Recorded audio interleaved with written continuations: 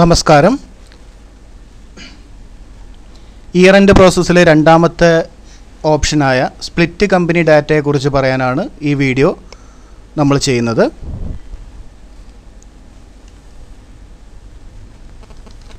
Year end പ്രോസസ്സിന് Tally ഒരിക്കലും strict ആയിട്ട് സ്പ്ലിറ്റ് കമ്പനി ചെയ്യണം അല്ലെങ്കിൽ ഒരു കമ്പനിയെ മുറിച്ച് രണ്ടാക്കി മാറ്റണമെന്നൊന്നും പറയുന്നില്ല. പക്ഷേ ഏറ്റവും സേഫായിട്ട് അല്ലെങ്കിൽ നമ്മളുടെ ഡാറ്റ വോളിയം കുറയാൻ വേണ്ടിയിട്ട് നമ്മളുടെ ലോഡ് ആകുമ്പോഴുള്ള ടൈം കുറയാൻ വേണ്ടിയിട്ടൊക്കെ നമുക്ക് ഏറ്റവും നല്ലത് നമ്മളുടെ ഓരോ ഫിനാൻഷ്യൽ ഇയറും നമ്മളുടെ ഓഡിറ്റിംഗ് വർക്ക് ഫൈ ഫിനാൻഷ്യൽ ഇയറിന്റെ എല്ലാ ഓഡിറ്റിംഗ് വർക്കിനുള്ള എല്ലാ കാര്യങ്ങളും കഴിഞ്ഞാലാണ് ഏറ്റവും നന്നായിട്ട് നമുക്ക് കറക്റ്റായിട്ട് സ്പ്ലിറ്റ് ചെയ്ത് നമ്മളുടെ ഡാറ്റ രണ്ടാക്കി മാറ്റാൻ പറ്റുക. പക്ഷേ ചിലർ ഏപ്രിൽ ഒന്നിന് തന്നെ നമ്മളുടെ കമ്പനി രണ്ടായിട്ട് സ്പ്ലിറ്റ് ചെയ്യാൻ പറ്റുമോ അല്ലെങ്കിൽ എങ്ങനെയാണ് ചെയ്യേണ്ടതെന്ന് ചോദിക്കാറുണ്ട്. ഏപ്രിൽ ഒന്നിന് തന്നെ സ്പ്ലിറ്റ് ചെയ്യുന്നവർ ശ്രദ്ധിക്കേണ്ട ഒരു കാര്യം നമ്മളുടെ ബാക്കിയുള്ള എൻട്രീസ് അതായത് കഴിഞ്ഞ ഫിനാൻഷ്യൽ ഇയറിലെ എന്തെങ്കിലും എൻട്രീസ് നമ്മളുടെ ഇതിൽ പെൻഡിങ് ഉണ്ടെങ്കിൽ നമ്മൾ സ്പ്ലിറ്റ് ചെയ്ത് വരുന്ന പുതിയ കമ്പനിയിൽ അതിന്റെ എഫക്റ്റ് ഉണ്ടാവില്ല. നമ്മൾ ബാക്കിൽ പോയിട്ട് എന്തെങ്കിലും കറക്ഷൻസ് വരുത്തി കഴിഞ്ഞാൽ അതിന്റെ എഫക്റ്റ് പുതിയ കമ്പനിയിൽ ഉണ്ടാവില്ല. അപ്പോൾ നിങ്ങൾ ശ്രദ്ധിക്കേണ്ടത് എന്താ വെച്ചാൽ നമ്മുടെ ബാക്കിലുള്ള അതായത് പ്രീവിയസ് ഫിനാൻഷ്യൽ ഇയറിന്റെ എല്ലാ എൻട്രീസും ചെയ്ത് കഴിഞ്ഞോ എന്നുള്ളതാണ് നമ്മൾ ആദ്യം നോക്കേണ്ടത്. ഓൾമോസ്റ്റ് ഒരു നയന്റി നയന്റി ഫൈവ് പെർസെന്റേജ് ഒക്കെ ആയി കഴിഞ്ഞാൽ നിങ്ങൾക്ക് വേണമെങ്കിൽ സ്പ്ലിറ്റ് ചെയ്യാം.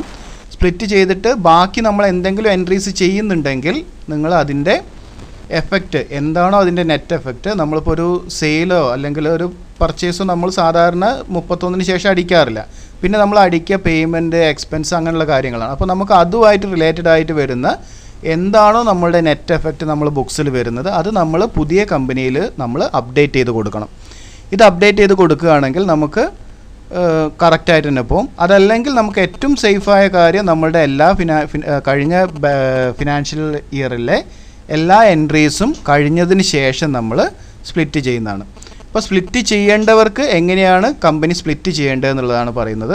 കമ്പനിയുടെ പാസ്വേഡ് സെറ്റ് ചെയ്തിട്ടുണ്ടെങ്കിൽ നിങ്ങൾ ശ്രദ്ധിക്കേണ്ട കാര്യം നിങ്ങൾ അഡ്മിൻ പാസ്വേഡിന് മാത്രമാണ് നമ്മൾ അഡ്മിൻ അല്ലെങ്കിൽ ഓണർ പാസ്വേഡിൽ മാത്രമായിരിക്കും ചിലപ്പം സ്പ്ലിറ്റിംഗ് ഓപ്ഷൻ അലൗ ചെയ്തിട്ടുണ്ടാവുക. അപ്പോൾ നിങ്ങളുടെ പാസ്വേഡ് മെയിൻ പാസ്വേഡ് ആണെങ്കിലാണ് നമുക്ക് കമ്പനിയുടെ സ്പ്ലിറ്റിംഗ് ഓപ്ഷൻസ് കിട്ടുള്ളൂ. അപ്പോൾ നിങ്ങൾ കമ്പനി തുറക്കുമ്പോൾ തന്നെ കമ്പനിയുടെ മെയിൻ പാസ്വേഡിലിട്ട് ഓപ്പൺ ചെയ്യുക. പാസ്വേഡ് ഇല്ലാത്ത കമ്പനിയാണെങ്കിൽ പ്രശ്നമല്ല. പാസ്വേഡ് ഇല്ലാത്ത കമ്പനിക്ക് നമുക്ക് ഈ അഡ്മിൻ പാസ്വേഡിന്റെ റൈറ്റ്സും കാര്യങ്ങളൊന്നും വരുന്നില്ല. അതുകൊണ്ട് പ്രശ്നമാവില്ല അഡ്മിൻ പാസ്വേഡ് അല്ലെങ്കിൽ യൂസർ പാസ്വേഡൊക്കെ ഉള്ളവർ അതിന്റെ മെയിൻ പാസ്വേഡിൽ നമ്മളുടെ കമ്പനി ഓപ്പൺ ചെയ്യാം. കമ്പനി ഓപ്പൺ ചെയ്ത് കഴിഞ്ഞിട്ട് കമ്പനി ഇൻഫോ എന്ന് പറഞ്ഞ ബട്ടൺ നമ്മളുടെ റൈറ്റ് സൈഡിൽ പീരീഡിന്റെയും ഡേറ്റിന്റെയും ഒക്കെ അടിയിലായിട്ട് കാണിക്കുന്ന കമ്പനി ഇൻഫോ എന്ന് പറഞ്ഞ ബട്ടൺ നമ്മൾ പ്രസ് ചെയ്യുക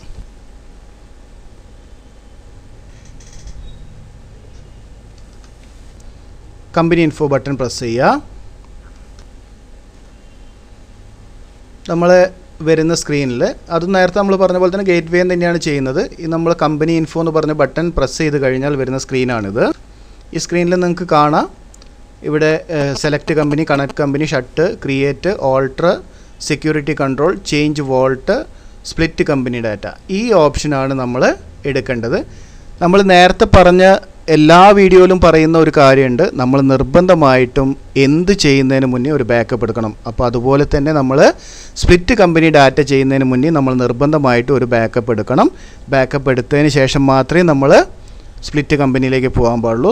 ബാക്കപ്പ് എടുത്തതിന് ശേഷം നമ്മൾ സ്പ്ലിറ്റ് കമ്പനി ഡാറ്റ എന്നുള്ള ഓപ്ഷനിൽ വരിക. സ്പ്ലിറ്റ് കമ്പനി ഡാറ്റ എന്നുള്ള ഓപ്ഷനിൽ നമ്മൾ എന്റർ ചെയ്ത് കഴിഞ്ഞാൽ രണ്ട് ഓപ്ഷൻ കാണാം. Select company verify company data verify company data എന്തിനാന്ന് വെച്ചാൽ നമ്മൾ സ്പ്ലിറ്റ് ചെയ്യുന്ന കമ്പനിയിൽ എന്തെങ്കിലും എററോ കാര്യങ്ങളോ ഉണ്ടെങ്കിൽ അത് മുൻകൂട്ടി അറിയാൻ വേണ്ടിയിട്ടുള്ള ഓപ്ഷനാണ് വെരിഫൈ ഡാറ്റ ഇത് വെരിഫൈ ചെയ്ത് കഴിഞ്ഞാൽ എന്തെങ്കിലും എറർ ഉണ്ടെങ്കിൽ നമ്മൾക്കത് റെക്ടിഫൈ ചെയ്യാൻ പറ്റും. അപ്പോൾ നമ്മൾ നിർബന്ധമായിട്ട് ഇത് ചെയ്യണം ഇല്ല. പക്ഷേ നിങ്ങൾക്ക് അത് ചെയ്ത് കഴിഞ്ഞാൽ നമ്മളുടെ ടൈം സേവ് ചെയ്യാൻ പറ്റും. ചിലപ്പോൾ എന്തെങ്കിലും എറർ ഉണ്ടെങ്കിൽ നമ്മൾ സ്പ്ലിറ്റ് ചെയ്ത് ആ ലെവൽ എത്തുമ്പോൾ മാത്രമേ നമുക്ക് ആ എറർ കാണിച്ചു തരുള്ളൂ. അപ്പോൾ അതിന് മുന്നേ തന്നെ നമുക്ക് അതിന്റെ എന്തെങ്കിലും എറർ ഉണ്ടോ എന്ന് നമുക്കിവിടെ ചെക്ക് ചെയ്യാൻ പറ്റും. വെരിഫൈ കമ്പനി ഡാറ്റയിൽ എന്റർ അടിക്കാം. അപ്പോൾ നമ്മൾ കമ്പനിയിൽ തുറന്ന് വെച്ച കമ്പനിയുടെ ലിസ്റ്റ് അവിടെ വരും. ആ ലിസ്റ്റിൽ നമ്മൾ ജസ്റ്റ് എന്റർ അടിച്ച് കഴിഞ്ഞാൽ അതൊരു പ്രോസസ്സാണ് ആ പ്രോസസ്സ് പ്രോഗ്രസ് ബാറോട് കൂടിയിട്ട് സീറോ ടു ഹൺഡ്രഡ് പെർസെന്റേജിലേക്ക് മൂവ് ചെയ്തുകൊണ്ടിരിക്കും. മൂവ് ചെയ്ത് കഴിഞ്ഞാൽ അതിന്റെ റിസൾട്ട് വരും. നമുക്കിപ്പോൾ ഇവിടെ കാണിച്ചിരിക്കുന്നത് നോ എറേഴ്സ് ഫൗണ്ട് ആണ്. അപ്പോൾ അത് അതിനർത്ഥം എന്താ വെച്ചാൽ നോർമലായിട്ടുള്ള ഒരു എററും ഇതിൽ ഇല്ല.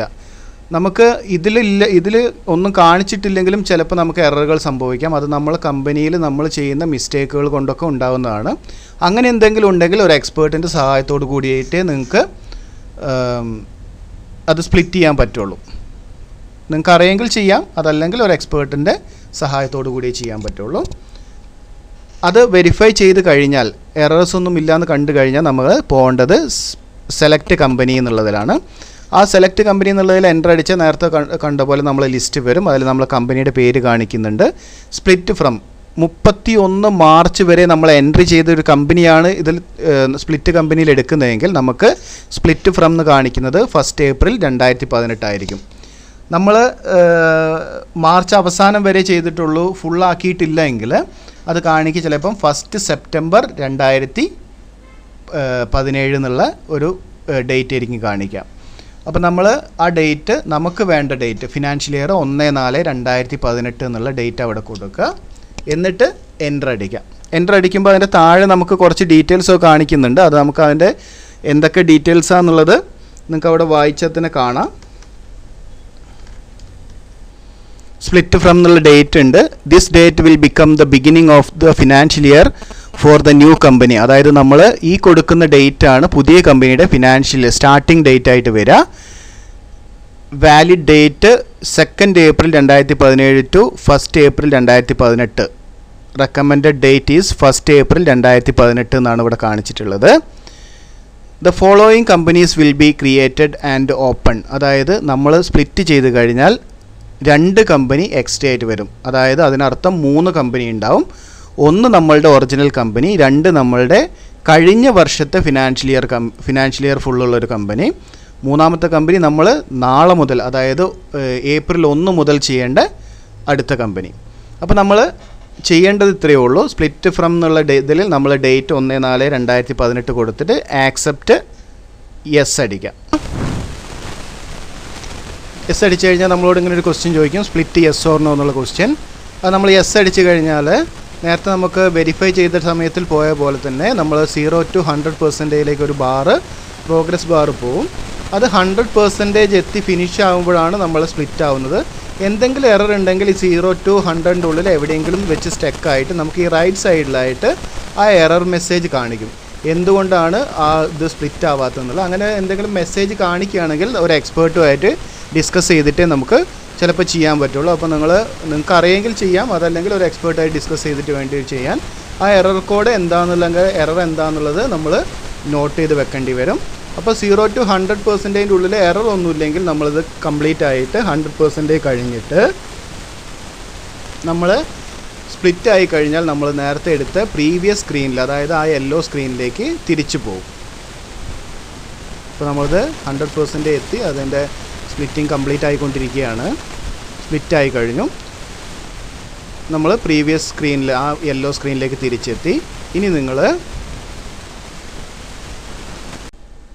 നമ്മൾ ഈ റൈറ്റ് സൈഡിൽ നോക്കുകയാണെങ്കിൽ വി സോഫ്റ്റ് ഇൻഫോ സൊല്യൂഷന്റെ ഒരു കമ്പനി നമ്മളുടെ പേരിന്റെ എൻഡിലായിട്ട് from first April two thousand eighteen എന്ന് പറഞ്ഞിട്ടൊരു കമ്പനി വന്നിട്ടുണ്ട്. ഇതാണ് നമ്മൾ സ്പ്ലിറ്റ് ചെയ്ത കമ്പനി. അതിന്റെ താഴെ കാണിക്കുന്നത് ഫസ്റ്റ് ഏപ്രിൽ രണ്ടായിരത്തി പതിനേഴ് മുതൽ പതിനെട്ട് വരെ തേർട്ടി ഫസ്റ്റ് ഏപ്രിൽ വരെയുള്ള കമ്പനി. മൂന്നാമത്തെ കമ്പനിയിലാണ് നമ്മൾ നാളെ മുതൽ അല്ലെങ്കിൽ ഫസ്റ്റ് ഏപ്രിൽ മുതൽ ചെയ്യേണ്ടത്. അങ്ങനെ മൂന്ന് കമ്പനി ഉണ്ടാവും. നമ്മൾ സെലക്ട് കമ്പനി അടിക്കുമ്പോൾ നമുക്ക് മൂന്ന് കമ്പനി ഉണ്ടാവും. ഒന്ന് നമ്മൾ സ്പ്ലിറ്റ് ചെയ്ത കമ്പനി ഒന്ന് നമ്മൾ കഴിഞ്ഞ ഫിനാൻഷ്യൽ ഇയർ എൻഡ് വരെ ചെയ്ത company thirty first March two thousand eighteen വരെ ചെയ്ത കമ്പനി. പിന്നെ കൂടാതെ നമ്മൾ ഒന്ന് ഏപ്രിലിന് ചെയ്യേണ്ട പുതിയ കമ്പനിയും അതിന്റെ അകത്ത് ഉണ്ടാവും ഇനി നമ്മൾ സെലക്ട് ചെയ്യുന്ന സമയത്ത് നമ്മൾ ഇതെല്ലാം ക്ലോസ് ചെയ്യാണ് ഞാൻ സെലക്ട് കമ്പനി അടിക്കുമ്പോൾ നമുക്കിവിടെ മൂന്ന് കമ്പനി കാണാം. അതിൽ നമുക്ക് കാണാം ഒന്ന് നാല് രണ്ടായിരത്തി പതിനെട്ട് മുതൽ പത്തൊൻപത് വരെയുള്ള കമ്പനി അതായത് നമ്മളുടെ ബ്രാക്കറ്റിൽ നമ്പറിന് ശേഷം നമുക്ക് ഫിനാൻഷ്യൽ ഇയർ കാണിക്കും. First April two thousand eighteen to thirty first March two thousand nineteen വരെയുള്ള ഒരു കമ്പനി നമുക്കിവിടെ കാണിക്കുന്നുണ്ട്. ആ കാണിക്കുന്ന കമ്പനിയാണ് നാളെ മുതൽ ഓപ്പൺ ചെയ്യേണ്ടത്. അതിലാണ് നമ്മൾ തുടർന്നുള്ള കം ഡീറ്റെയിൽസ് എന്റർ ചെയ്യേണ്ടത്. നമ്മൾ ബാക്കോട്ടുള്ള എന്തെങ്കിലും ഡീറ്റെയിൽസ് എന്റർ ചെയ്യേണ്ടത് ഒന്നുകിൽ ഈ കമ്പനി ഒഴിവാ ഒഴിവാക്കുന്നവരുണ്ടെങ്കിൽ നമ്മൾ പഴയ കമ്പനി കാരണം നമ്മൾ തേർട്ടി ഫസ്റ്റ് മാർച്ച് വരെ മാത്രമേ ഇതിൽ എന്റർ ചെയ്തിട്ടുള്ളൂ. അതുകൊണ്ട് ഇത് യൂസ് ചെയ്താൽ ഇത് യൂസ് ചെയ്താൽ രണ്ട് സെയിം എഫക്റ്റ് ആണ് അപ്പോൾ ഒന്നുകിൽ ഏതെങ്കിലും ഒരു കമ്പനി ഒഴിവാക്കിയിട്ട് ആ ഒരു കമ്പനിയിൽ അതായത് പതിനേഴ് പതിനെട്ട് എന്നുള്ള കമ്പനിയിലാണ് എന്റർ ചെയ്യേണ്ടത്. ആ എന്റർ ചെയ്യുന്ന ഒരു ഡീറ്റെയിൽസും നമ്മൾ നേരത്തെ പറഞ്ഞ പോലെ ഇതിലേക്ക് വരില്ല. ഓട്ടോമാറ്റിക്കായിട്ട് വരില്ല. അപ്പോൾ നിങ്ങൾ എന്താ ചെയ്യേണ്ടതെന്ന് വെച്ചാൽ ഇതിൽ ചെയ്തതിന്റെ എഫക്റ്റ് നോക്കിയിട്ട് നമ്മൾ ഈ കമ്പനിയിലേക്ക് അതിന്റെ എഫക്റ്റുകൾ നമ്മൾ എന്റർ ചെയ്യും മാനുവലായിട്ട് തന്നെ എന്റർ ചെയ്ത് കൊടുക്കേണ്ടി വരും. നമ്മൾ പ്രീവിയസ് ഇയറിൽ എന്തെങ്കിലും കറക്ഷൻസ് ചെയ്തിട്ടുണ്ടെങ്കിലുള്ള കാര്യമാണ് പറയുന്നത്. ഇല്ലെങ്കിൽ നമുക്ക് ഒന്ന് ഫസ്റ്റ് ഏപ്രിലിന് ശേഷം നമുക്ക് ഈ കമ്പനി പുതിയ കമ്പനി എടുത്തിട്ട് അതിൽ പുതിയ ഫിനാൻഷ്യൽ ഇയറിലെ ട്രാൻസാക്ഷൻസ് എന്റർ ചെയ്യാൻ പറ്റും.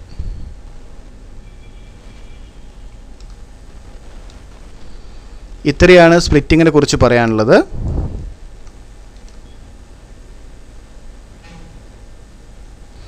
ഒന്നുകൂടി ഓർമ്മിപ്പിക്കുകയാണ് എന്ത് ചെയ്യുന്നതിന് മുന്നേ നമ്മൾ ഒരു ബാക്കപ്പ് അത് ഏത് സോഫ്റ്റ്വെയർ ആണെങ്കിലും എടുത്തു വെക്കുക പ്രത്യേകിച്ച് ടാലി ആണെങ്കിൽ നിങ്ങൾ എന്തായാലും എടുത്തു വെക്കുക. നിങ്ങളുടെ കയ്യിൽ മാത്രമാണ് നിങ്ങളുടെ ഡാറ്റയുടെ ബാക്കപ്പ് ഉള്ളത്. നമ്മളുടെ വീഡിയോസ് മുഴുവനായിട്ട് കാണുക. ലൈക്ക് ചെയ്യുക ഷെയർ ചെയ്യുക സബ്സ്ക്രൈബ് ചെയ്യുക. മാക്സിമം നമ്മളെ സപ്പോർട്ട് ചെയ്യുക. കൂടുതൽ കൂടുതൽ വീഡിയോസുമായിട്ട് നമുക്ക് അടുത്ത് തന്നെ മീറ്റ് ചെയ്യാം. It's bye from we Kerala movies